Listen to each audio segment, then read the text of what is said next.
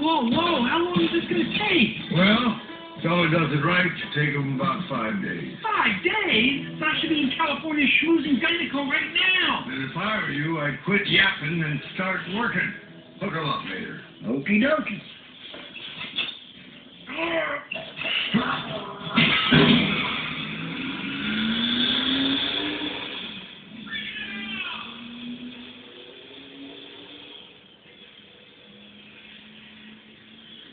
Maybe I should have uh, hooked him up to Bessie and then, uh, then took the boot off.